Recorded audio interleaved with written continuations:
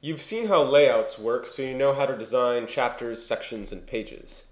The other side of the design coin in iBooks Author is the paragraph, character, and list styles section.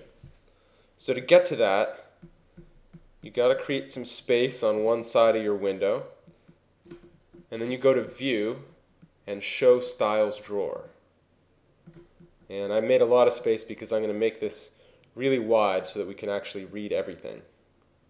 So we've got paragraph styles, character styles, and list styles. And they're fairly self-explanatory. There's a little bit of conceptual overlap between paragraph and character styles. And really, mostly what you'll be doing is making and manipulating paragraph styles. So I'm going to hit these two little uh, buttons in the lower right to hide the list styles and character styles. And if you want to bring them back, you just click them again but I'm going to hide them for now.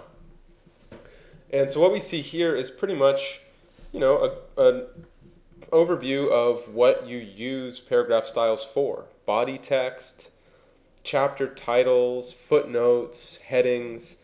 There's a lot of them here, uh, but those are probably the basic ones that you'll need at minimum, maybe four or five at minimum. Uh, every template that Apple ships with iBooks Author has a bunch of these paragraph styles. And I made a bunch more for my own template, and that's why there's so many here. But you can delete them and you can change what they look like. So you don't actually need to have this many. But anyway, let's get going. So if we go into any old chapter here and we click on some text, we see that body is highlighted in blue and there's a little black triangle that appears. And so that means that this text is body text that it's been defined as body text. If it's not defined as anything, it'll highlight free form up here. And if we click on that triangle, we see a few options, most of which are grayed out right now. And so you can rename the style, delete the style, create paragraph style from selection, which I'll show you more of in a moment. Now if I select this text up here, it also highlights the body style, but our triangle is turned red. And basically what that means is that there's some difference between this and our regular body style. And of course the difference is pretty obvious. It's bold. The regular body style is not bold, and this heading is bold. And in fact, heading. Speaking of the fact that it's a heading, why don't we just define it as a heading? So probably what I want to do is have that not be body at all. I'll select it, I'll go down, and to redefine it, I just click heading 2, and now I've just made that into a heading. I can do that to another one, and do that to another one, and keep going. And I'm going to make all these things that look like, you know, what we think of as headings into actually headings and not the body.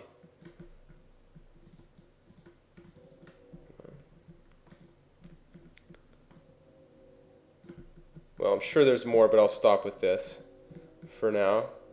But let's say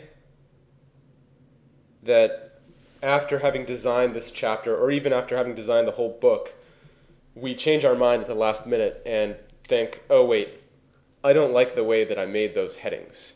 I want them to be bright red and not italics. What do you do?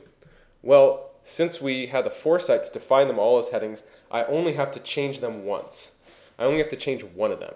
So I'm going to grab this heading, but it could be any old heading. It doesn't have to be the first one. It could be any, any heading too. Select it, make the change I want. So I'm going to change it. I said I didn't want italic. I just want bold.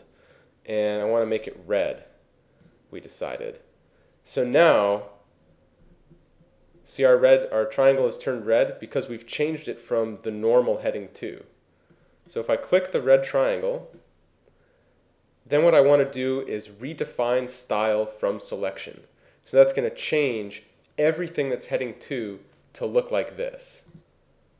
And indeed, it changed it here, and it changed all three of those, and it changed all the ones I've, I've made into heading 2. And if I had made things in other chapters into heading 2, it would change those as well. So this will take place across your entire book. So this is an invaluable tool to give yourself that flexibility to make changes later just by defining things in a logical way. It's the same concept behind uh, cascading style sheets on web pages. Basically, you define something as a heading once, and then you can always change what it looks like later. It's extremely convenient. But let's say we want to make a new style. Let's say, let's say just these names here, Achilles, Moses, Isis, Charles. Let's say we want all names for whatever reason. We want them to be really big and and green and what's what's a funny font? Marker felt. That looks kind of weird. We want them to be in marker felt, like super cheesy. And maybe what other options are wide marker felt. And uh, yeah, and maybe underlined. No, this is good enough. All right, so we want all names to look like that. But there is no there's no style that really matches what we're doing.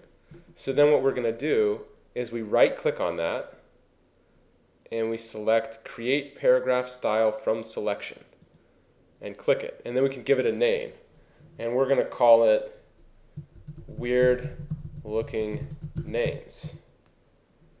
And now we've got this style, weird looking names, and it's even alphabetically arranged just where it should be at the very end of that list.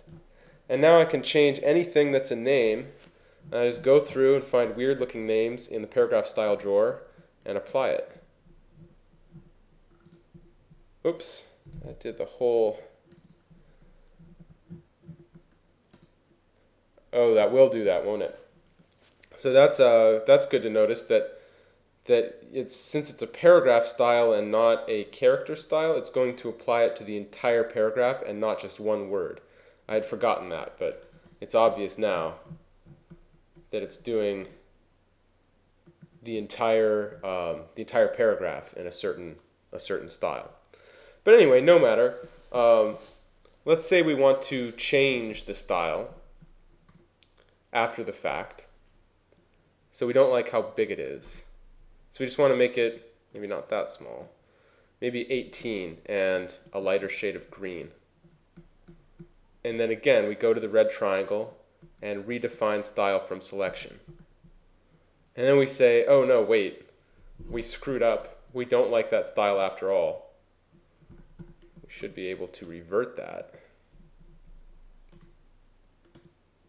No, we can't revert it. But I think we can revert this one. Revert to define style. So, you know, there's a few odd glitches there. You saw that, you know, Charles was somehow selected separately from the line, although the others we had to select the entire line. Um, there's just a few kind of unusual artifacts that you might encounter. But overall, the utility of paragraph styles is enormous. And basically, that and layouts is how you design a template for your book. Like, that is what a template really is. Everything else is just kind of your content or a little bit of window dressing. But the core of making a template, of designing a book template, is setting up your paragraph styles and setting up those layouts that we already saw with chapters, sections, and pages. And that's what you do. That's how it works.